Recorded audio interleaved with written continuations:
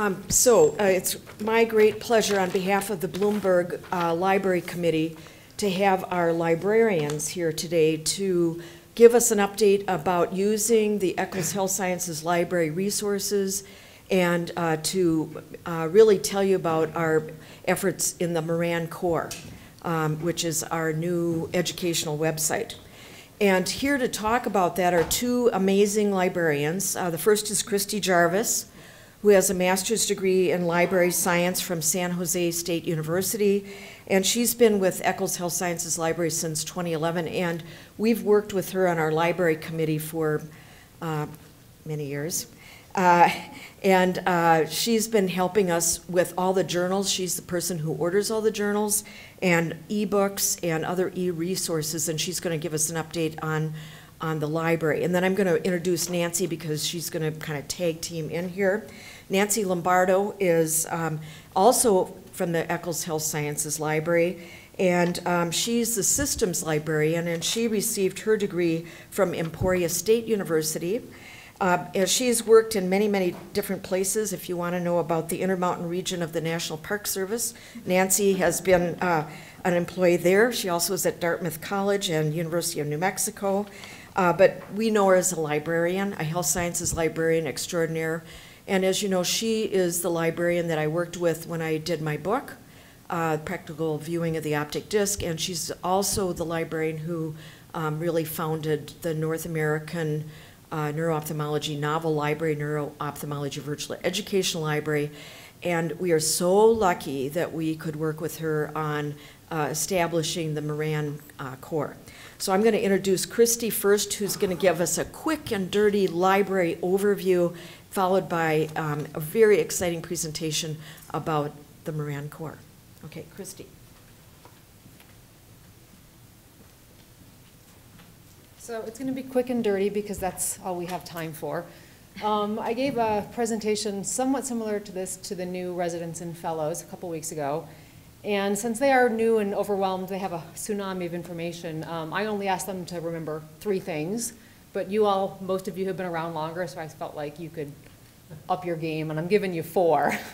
so uh, you're on notice, you've been challenged. So the four things that I want to review that are important that I think to help all of the researchers and faculty and staff to make use of library resources is how to find full text from PubMed, what your full text options are when the library does not subscribe to something, how you access library resources when you are off campus or you know in your mountain home or vacationing in Bermuda and you desperately need to get into a journal.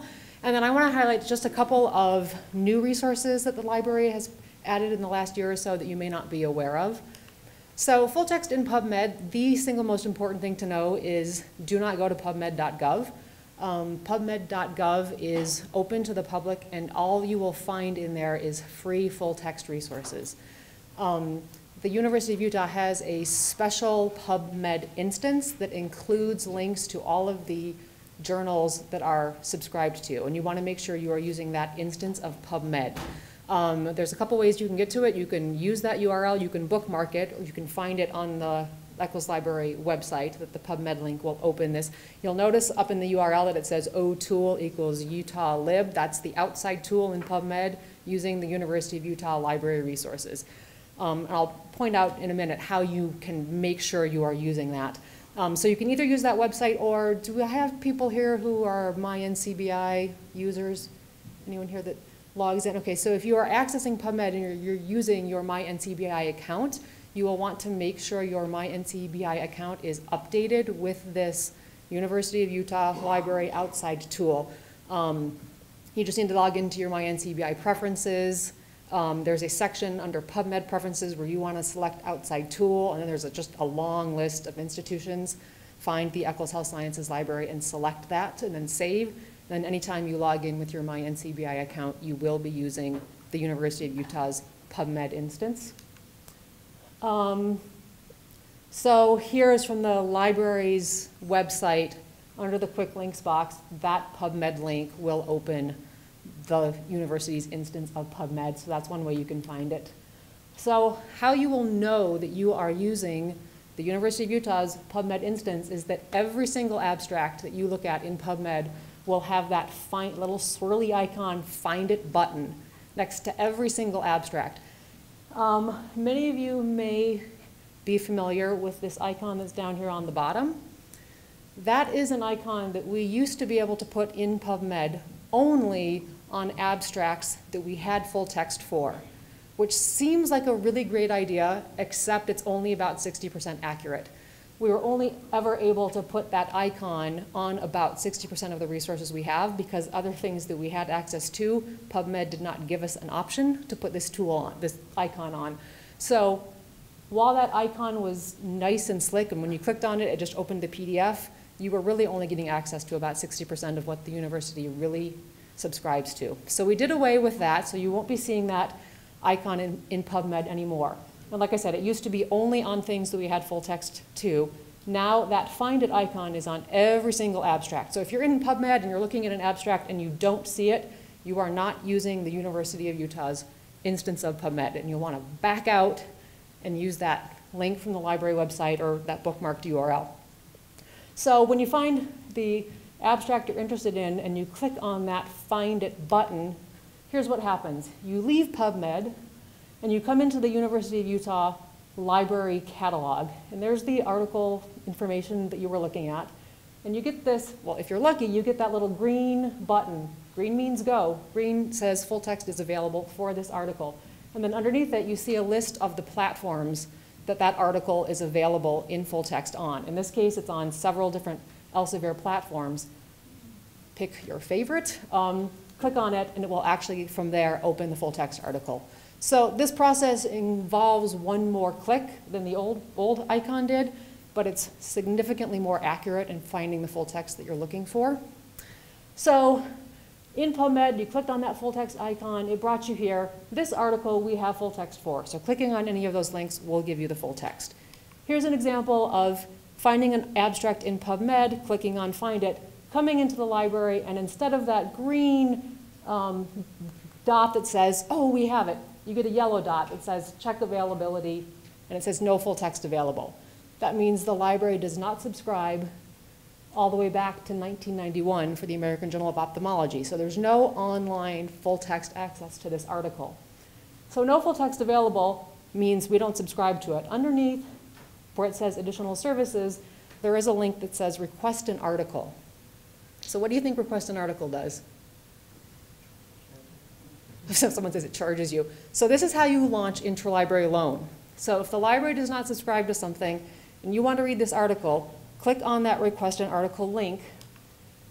The first thing that will pop up is a box asking you to identify which library you are affiliated with. You want to select the Eccles Health Sciences Library. From there, you will be taken into ILLiad, which is the interlibrary loan tool for the universities, for the university libraries. You have to have a separate ILLiad account to order articles through interlibrary loan. It's not the same thing as your UNID and password. Um, I'm about to show me logging into ILLiad, and I made my UNID my username, but my password is not my CIS password. You have to register separately for an ILLiad account. Once you have logged into your ILLiad account, you will see the order form open, and because I came in through PubMed, it brought over into the order form all of the article citation information that I want to order, so you don't have to manually enter it in.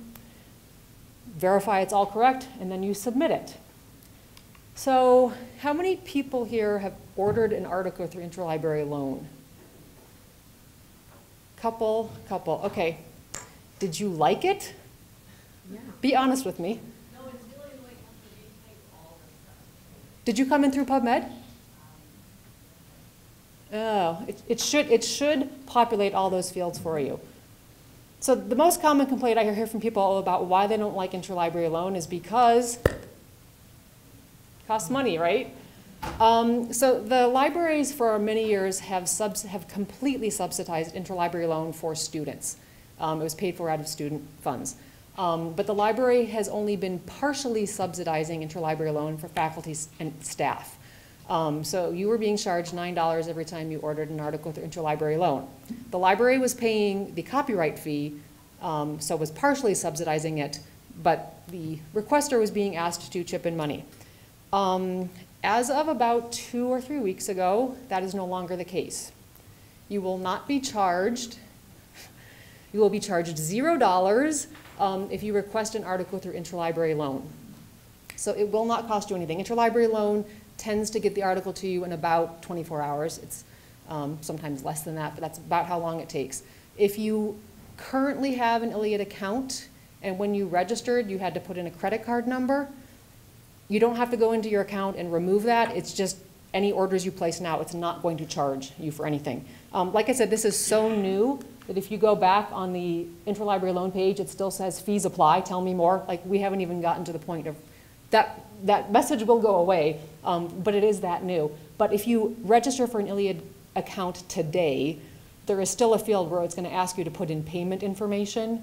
You have to put in something to be able to register yourself, so just put in the words no charge, and you can continue registering.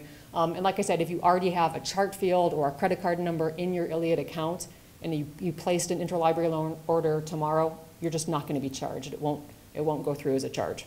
So, um, hope that this really encourages people not to um, tear their hair out when they get to that final screen where they see, oh, no full text available. Crap. What am I gonna do? Um, I have to order it. At least know that ordering it, you should get it in about 24 hours and it won't cost you anything. So, that is a new option for getting full text. It's not a new option, it's a new free-to-you option to get full text for articles. Um, so that's a, no, that's dollars floating away. Um, okay, remote, remote access I want to just touch on briefly because um, people that do work primarily on campus tend to not have to think about, oh, how, how am I letting the publisher of this journal know that I'm affiliated with the University of Utah and should have access? You don't have to worry about it because all of our access is IP authenticated. So as long as you are within the IP space of the university, the publisher knows, oh, this person should have access. And you don't have to do anything, you just get in. But when you're working at home in the middle of the night, or like I said, working on your vacation in the Bahamas, you need to have some way of letting Elsevier, of letting Wiley know I work at the University of Utah and I have a right to access these journals because they're being paid for. So the way you authenticate yourself is by using the university's proxy server. Um, so on the library's homepage, there are multiple buttons that do the same thing, but any of those links that say off-campus access, when you click on it, it's going to prompt you for your university ID and password, and then take you right back to the page that you were on. But now, up in the URL bar, you will notice that you are being identified as part of the, you are have come in through the proxy server. And now when you navigate to a publisher's website, that proxy server information comes over and Elsevier and Wiley and Springer know, oh, this person is actually a member of the University of Utah and they subscribe to this journal and that journal, so go ahead, have at it. Um, so if you find yourself working from home and you're trying to, you know, you Google a title of a journal and it pulls up the journal site and you're like, why can I not get into Lancet? Of course we have Lancet. Well, realize you never identified who you are to that publisher, so they don't know, let, they don't know to let you in. So that's for remote access. And then a couple of new resources that I just want to point out. Um, Embase is fairly new to the library. Um, Embase is a terrific tool to use if you are doing any type of systematic review or just thorough searching of the literature. Um, Embase has some overlap with Medline, but it has a significant amount of unique content. Several thousand journals that are not indexed in Medline or in Embase.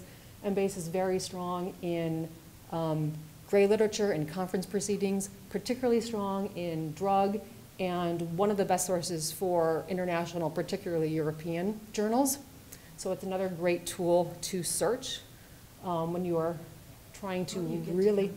So all of these tools that I am going to mention are accessible. Right here on the library's homepage, there's a tab that says Research Databases. You can, there's an A to Z list. So click on Research Databases and then the title, the letter of the title, and it will drop you down. It's just an A to Z list of all of these tools. Um, so Embase is a fairly new tool to make use of. Clinical Key is pretty amazing. Um, many of you may have used MD Consult in the past. Clinical Key is what MD Consult used to be before it started pounding steroids. It is now, um, everything that used to be in MD Consult is in Clinical Key, but there are an additional 500 journals, 1,200 medical and surgical books, 13,000 um, videos, and almost 4 million images.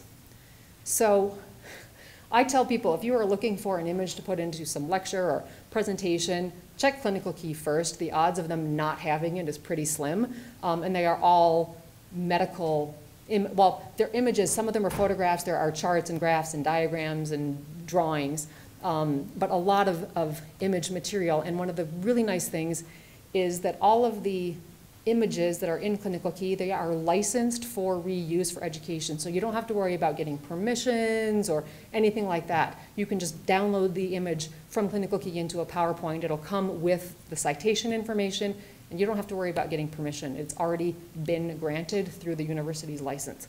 So Clinical Key is worth, and here, I just did a, I went into Clinical Key, searched just multimedia for closed angle glaucoma, got 200 images. You can see some of them are photographs. There are graphs and charts.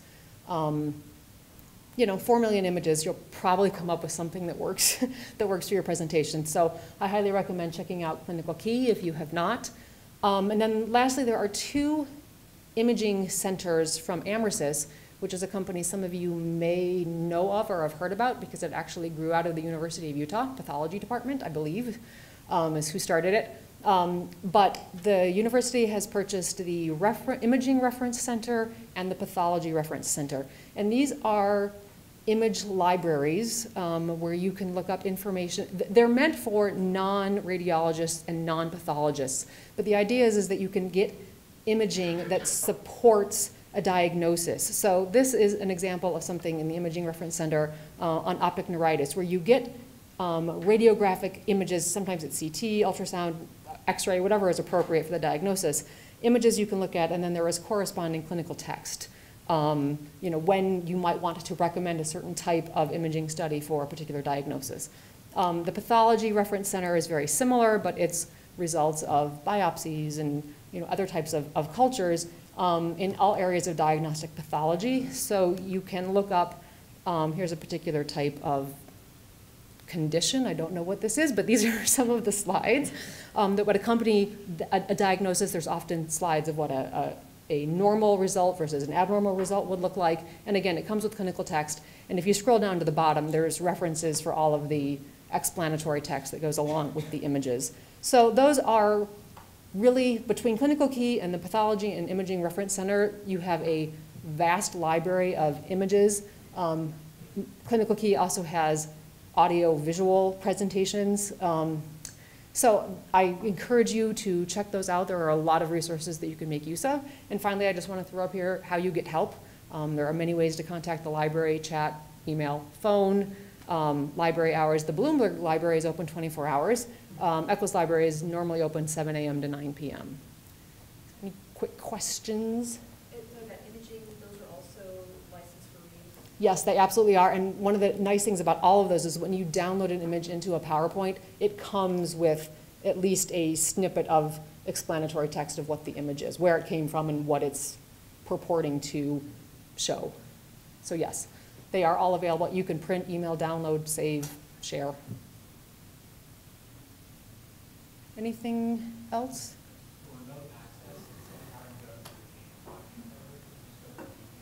Yes, you can, if, if you, uh, yes, so the question was, do you have to go through the proxy server if you are accessing remotely, or can you use VPN? You can absolutely use VPN.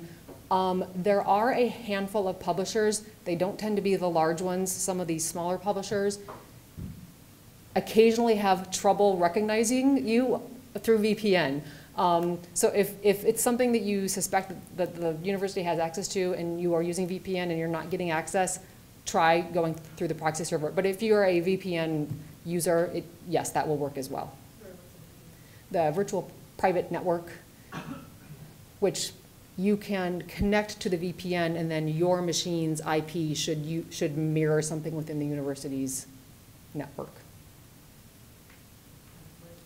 How do you do that? That sounds good. Yeah, so you, can. That's, that's kind of, we can take that one offline. yeah, I'll, I'll, I'll, I'll talk to you afterwards. Yeah, there is, it's- I mean, there's a, a web version, there's a client version, but it- yeah, it's doable. No other questions? Off to you. Thank you.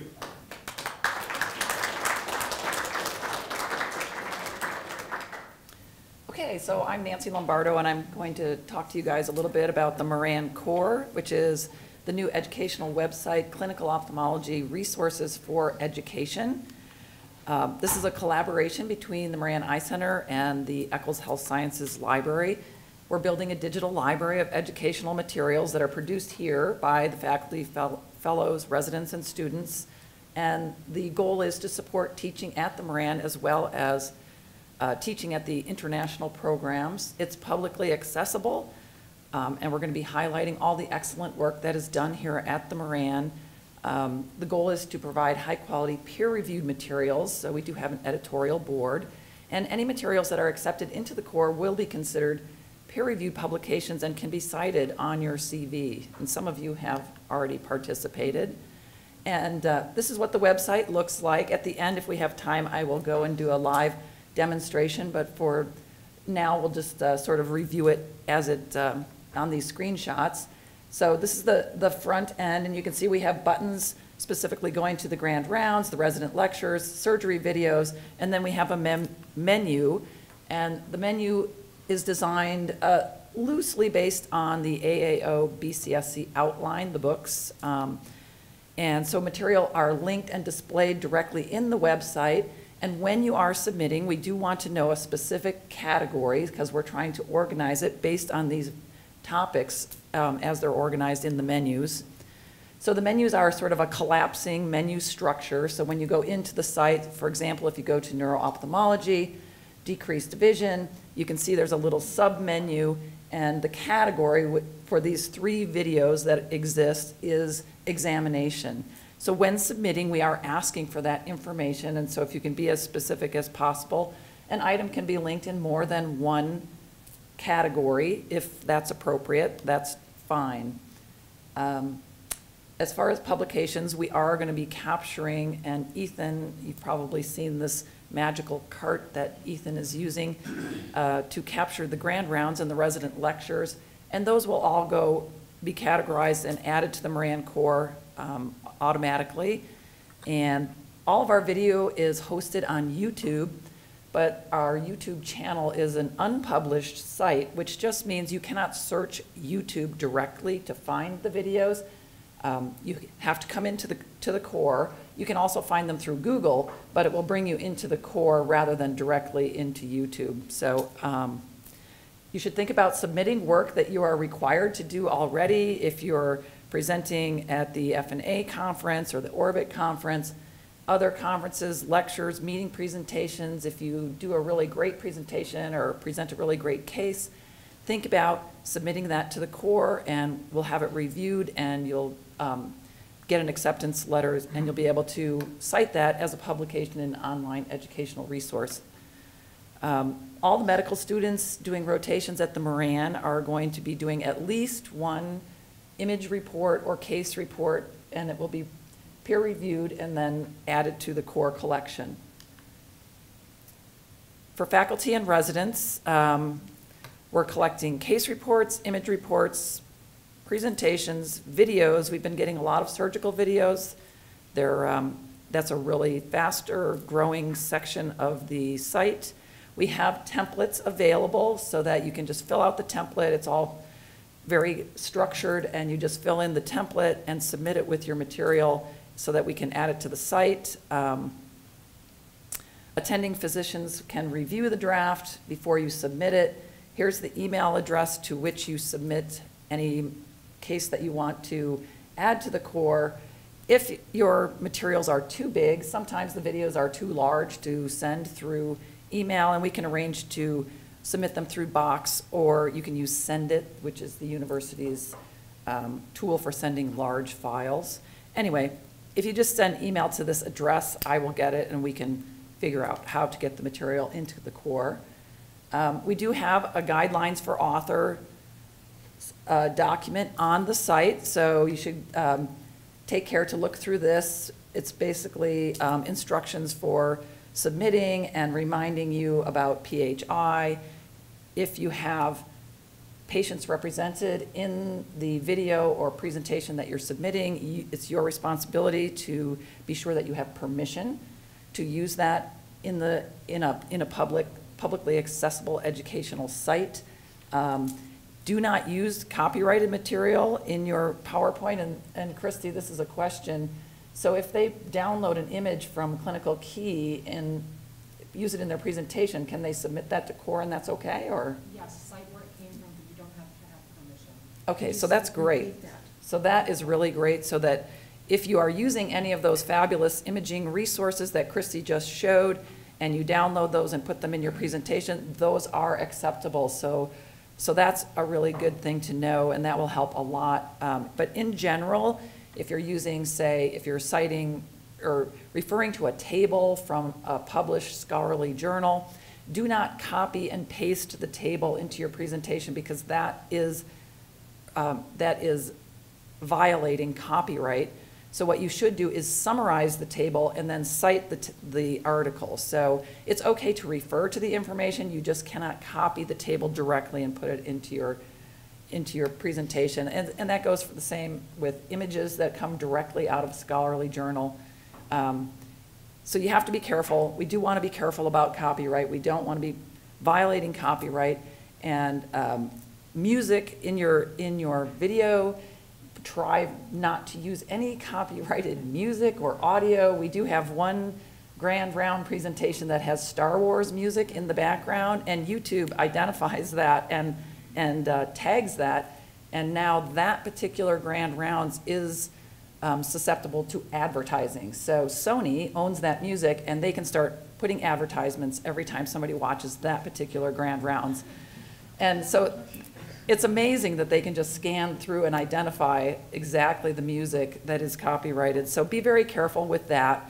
Um, At this point, we are leaving that grand rounds up, and we'll see how much advertising really um, occurs. And if there's a lot of advertising, we might have to take it down and try and um, mute the audio. Unfortunately, the speaker is speaking over, the music is in the background, so it's very difficult to edit that out.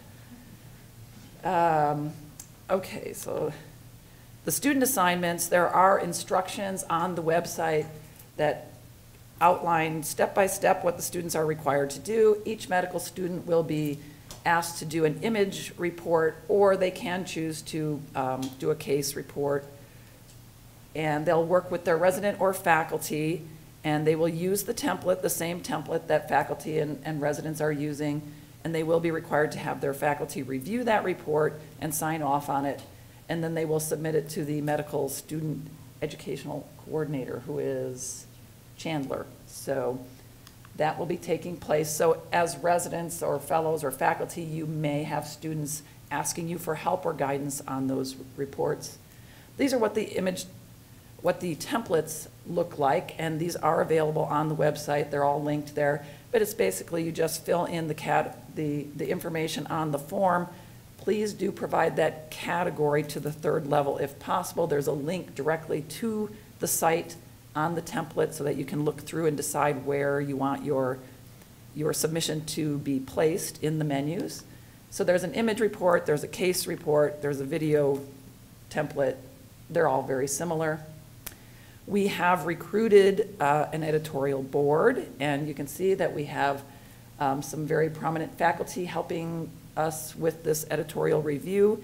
And if you believe that you um, have, would be able to provide editorial support for us, we are accepting volunteers, the more the merrier. That just divides up the work. So uh, the editors will be asked when submissions come in that are in their topic area, we will ask them to review those materials or assign the review to one of their colleagues.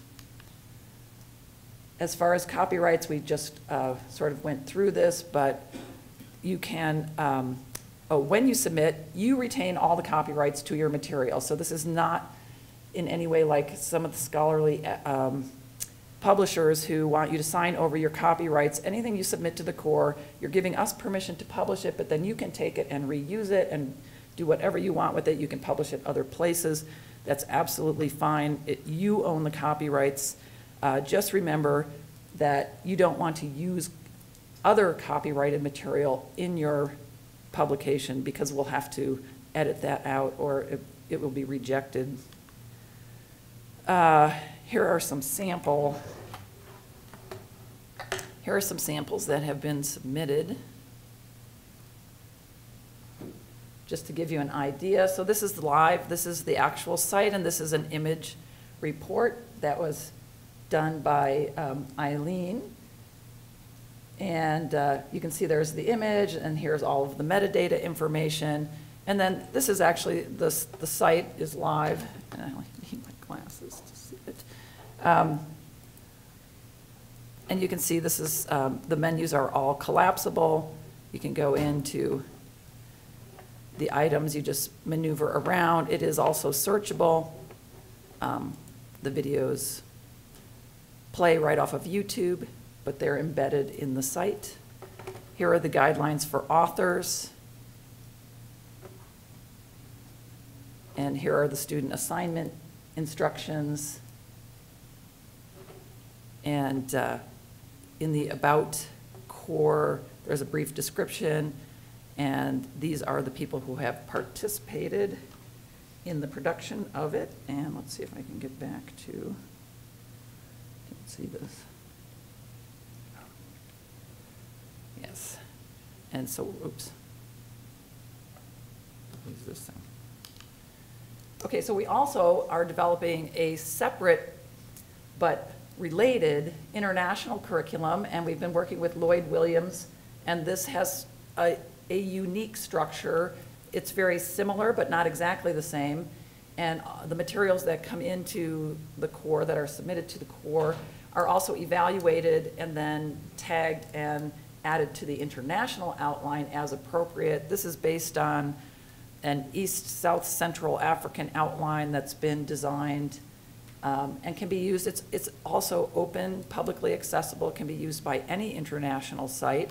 And it's got a slightly different um, structure based on the, the curriculum that they're using. So um, you'll see materials linked in both places, and either, either outline can be used to access the materials.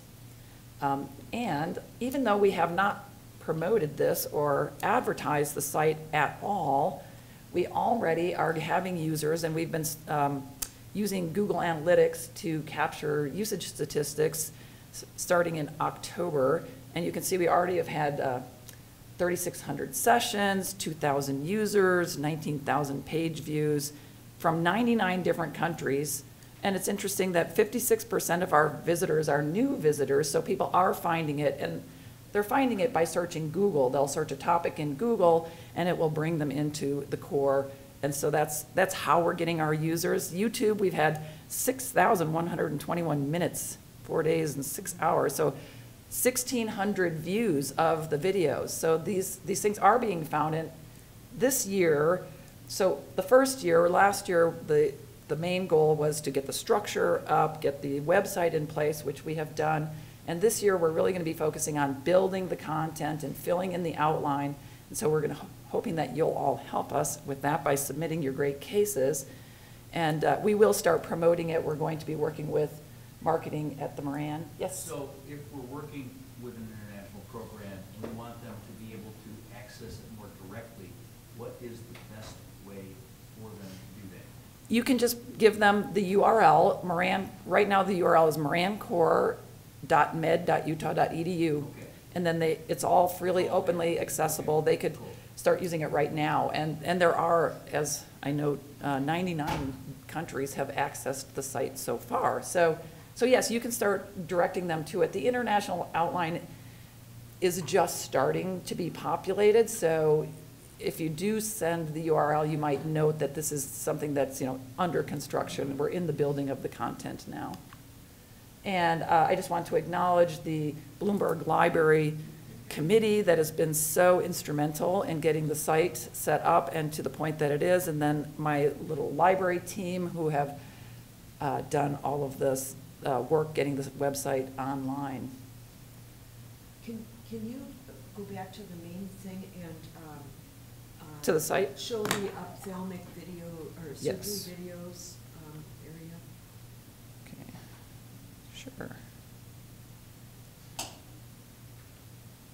Okay, this is the live site. Yes, so we have, if you, on the home page, Um, We highlight the surgery videos here in this, with this button, but we also have a section with an organiz- organizational structure just for ophthalmic video. Um, But if you want to see what's new, these buttons are really helpful because they will display everything in that category, and they're displayed in chronological order as far as when things were added most recently. So these are the newest videos, and if you scroll down, you'll see it's just a long list of, of the video submissions that we've gotten. And if you want to view one, you just click on play. And you can watch the, the video. So, so that is the easiest way to get to them using this button. Um, Over time, we hope to fill out this whole outline, and uh, it also is, they all work the same way, where it's a collapsible menu structure, and it can take you into them guided in organizationally by the topics. So, any other questions? Yes? Um, do you anticipate that articles that would be appropriate to be included on PubMed will, uh, eventually be able to be, um. So the question is, um, would articles that would be available on PubMed be included in the Moran Core? I don't think that we will have journal articles per se. Now, in the templates that we uh, have submitters fill out, there is a place for you to put references, and we could link directly to the PubMed article from the references. So there could be a link to an article, but I don't see us republishing articles that have been published elsewhere. No, that's actually not what I Oh. Um, so, so what I mean is if, somebody puts their article that they've written here to Moran on, onto Moran Core, um, could, could that article, or in the future, you anticipate linking the Moran Core article to PubMed? So that those articles could be. Oh, okay, would, would material in the Moran Core be accessible in PubMed? Um, We can, look. we will investigate that possibility. I think if we get the content developed substantially, there is a possibility that PubMed would index this tool. They, they do index um, some electronic books and other tools of that sort, but I think that we, we will have to do, um, maybe at the end of this year, after we've done quite a bit more content development, that's a possibility. Any other questions? Okay. Thank you. Thank you.